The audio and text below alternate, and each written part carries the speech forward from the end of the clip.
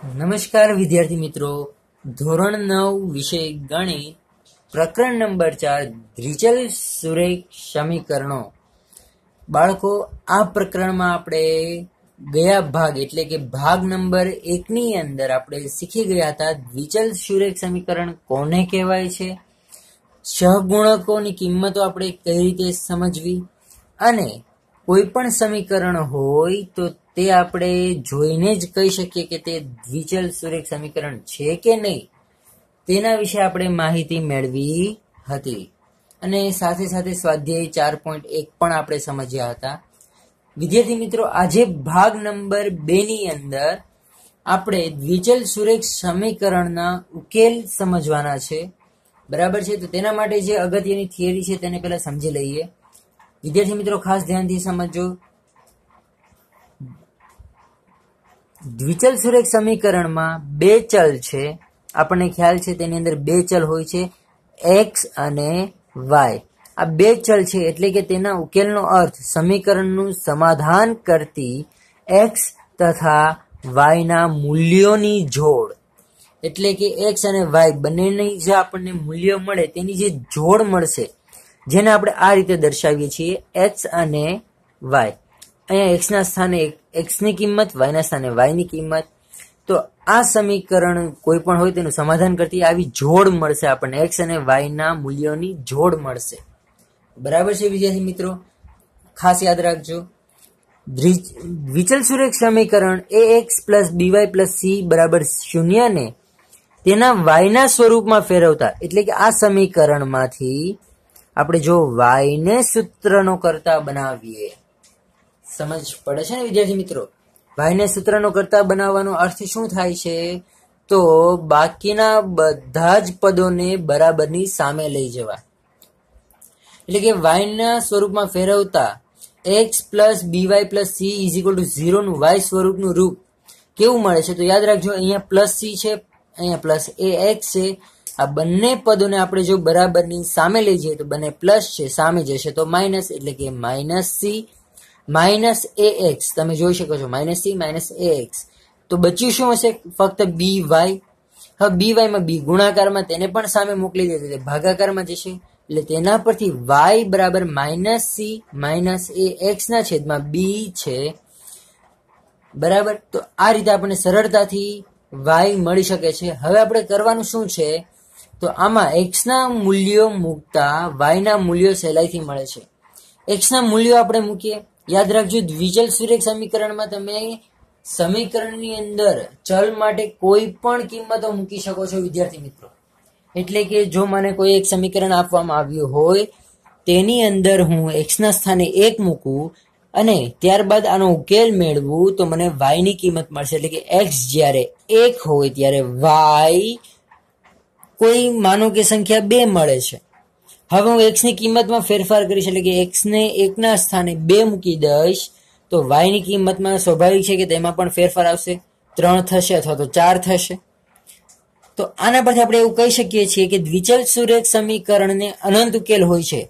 એટલે કે તમે એક્સની જેટલી અલગ અલગ કિંમતો મૂકશો, તે તમામ અલગ અલગ કિંમતો માટે વાયના મૂલ્યો પણ અલગ અલગ મળતા રહેશે. તો આપણે જે જોડીઓની વાત કરી હતી કે દ્વિચલ સુરેખ સમીકરણના ઉકેલમાં એક જોડી મળે છે એક્સ વાય સ્વરૂપની, તો આવી અસંખ્ય જોડીઓ મળી શકે છે આપણને. આપણે જેટલી અલગ અલગ એક્સની કિંમતો મૂકીશું, તેટલી જ અલગ અલગ વાયની સામે કિંમતો આપણને મળશે. તો આપણે કહી શકીએ કે દ્વિચલ સુરેખ સમીકરણના અનંત ઉકેલ હોય છે. સમજ પડી, વિદ્યાર્થી મિત્રો? દ્વિચલ સુરેખ સમીકરણના મૂલ્ય આપણને એમસીક્યુમાં પૂછાઈ શકે છે કે, વિદ્યાર્થી મિત્રો દ્વિચલ સુરેખ સમીકરણના કેટલા ઉકેલો હોઈ શકે છે? એક ઉકેલ હોય, બે ઉકેલ હોય, પાંચ ઉકેલ હોય કે અસંખ્ય ઉકેલ હોય? તો તમે જવાબ શું લખી શકો? સર દ્વિચલ સુરેખ સમીકરણને અસંખ્ય ઉકેલો હોય છે. તો આ પ્રકરણના જો કોઈ પ્રશ્ન હશે, દ્વિચલ સુરેખ સમીકરણ ઉકેલવાની અંદર એક્સ અને વાયની કિંમત શોધવાના કોઈ પ્રશ્ન હશે, તો યાદ રાખજો તમારી પાસે જવાબ એક અને માત્ર એક નથી. તમારી પાસે જવાબ ઘણા બધા છે. હરેક વિદ્યાર્થી પોતપોતાની અલગ અલગ પદ્ધતિ પ્રમાણે અથવા તો અલગ અલગ મૂલ્યો મૂકીને તે હરેક પ્રશ્નના અલગ અલગ જવાબો મેળવી શકે છે અને બધા જ જવાબ સાચા હોય છે. જો ગણતરી સાચી હોય તો બરાબર ને વિદ્યાર્થી મિત્રો? તો ચલો, આટલી થિયરી સમજ્યા પછી આપણે આગળ સ્વાધ્યાય ચાર પોઈન્ટ બેને સમજીએ. સ્વાધ્યાય ચાર પોઈન્ટ બેનો પ્રશ્ન નંબર એક. નીચેના પૈકી કયો વિકલ્પ સાચો છે અને શા માટે? તે આપણે જણાવવાનું છે. આપણને એક સમીકરણ આપવામાં આવ્યું છે વાય બરાબર ત્રણ એક્સ વત્તા પાંચ. વિદ્યાર્થી મિત્રો, આપણને એક વાય સ્વરૂપનું જ સમીકરણ આપ્યું છે, તો આપણે આમાં કોઈ ફેરફાર કરવાની જરૂરિયાત નથી. આ સમીકરણને અનન્ય ઉકેલ હોય, યાદ રાખજો, અનન્યનો અર્થ થાય છે એક જ ઉકેલ હોય, એક અને માત્ર એક ઉકેલ. બરાબર છે? અનન્ય ઉકેલ હોય, માત્ર બે ઉકેલ હોય કે અનંત ઉકેલ હોય? આ ત્રણમાંથી કયો જવાબ આવશે વિદ્યાર્થી મિત્રો? સર, અમને ખબર છે, હજુ હમણાં જ આપણે થિયરીમાં સમજ્યા છીએ કે આ દ્વિચલ સુરેખ સમીકરણ છે. ધ્યાનથી જો પહેલો ચલ વાય બીજો ચલ એક્સ બે ચલ છે ને બંનેની ઘાતાંક એક એક જ છે. કંઈ નહીં તો એક જ હશે. એટલે કે સર, બંને ચલ છે અને બંને ચલની ઘાતાંક એક જ છે, તો આપણે આને દ્વિચલ સુરેખ સમીકરણ કહી શકીએ. અને દ્વિચલ સુરેખ સમીકરણ હોય તો તેના ઉકેલો અનંત હોય. હમણાં જ આપણે સમજ્યા. તો આના પરથી આપણો જવાબ શું આવે છે? જવાબ આવે છે અનંત ઉકેલો હોય. બરાબર છે વિદ્યાર્થી મિત્રો? હવે આપણને એટલો તો ખ્યાલ આવી ગયો, અનંત ઉકેલો હોય. વિકલ્પ કયો સાચો છે આપણે જોઈ લીધું, પણ શા માટે? હવે આપણે તે જોવાનું છે. તો ચલો ગણતરી કરીએ. સમીકરણમાં એક્સ બરાબર એક મૂકતા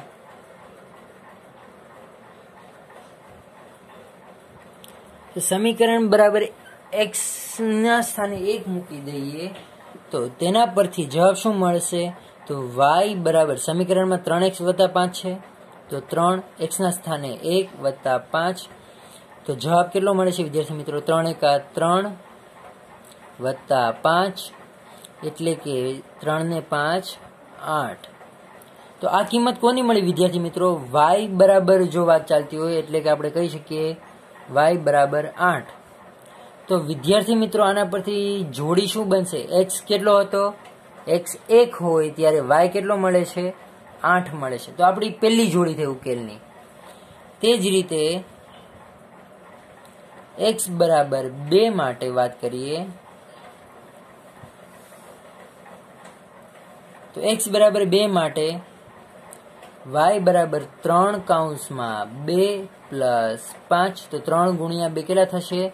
છ પ્લસ પાંચ, છ ને પાંચ કેટલા થશે? વિદ્યાર્થી મિત્રો, અગિયાર. માટે વાય બરાબર અગિયાર મળે છે, તો આવી પરિસ્થિતિમાં એક્સ બે હતો, ત્યારે વાય કેટલો મળ્યો? અગિયાર. જો તમે જોઈ શકો છો એક્સ જ્યારે એક લીધો, ત્યારે વાયની કિંમત અલગ હતી. એક્સની કિંમતમાં ફેરફાર કરવામાં આવ્યો, તો વાયની કિંમતમાં પણ ફેરફાર થયો. આ રીતે તમે એક્સની અસંખ્ય કિંમતો મૂકી શકો છો. તમે જે ધારો તે કિંમતો મૂકી શકો છો. ચલો આગળ હજુ લઈએ. એક્સ બરાબર ત્રણ મૂકીએ ત્યારે વાય બરાબર ત્રણ ગુણ્યા ત્રણ વત્તા પાંચ, એટલે કે ત્રણ ગુણ્યા ત્રણ નવ વત્તા પાંચ. તો કેટલા મળે છે? ચૌદ. માટે વાય બરાબર ચૌદ મળ્યા ક્યારે? જ્યારે એક્સ તમારો ત્રણ હતો, ત્યારે વાય થયો ચૌદ. તમે આમાં કિંમતમાં ફેરફાર પણ કરી શકો છો.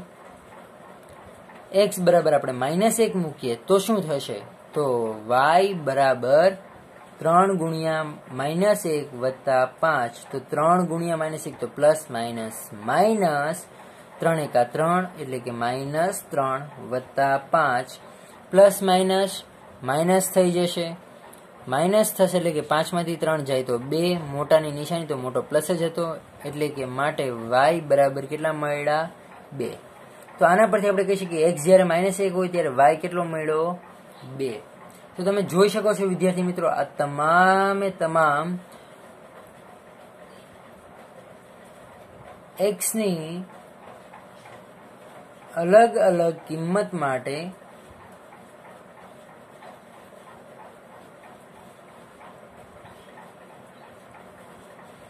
વાયની જુદી જુદી કિંમતો મળે છે. માટે દ્વિચલ સુરેખ સમીકરણના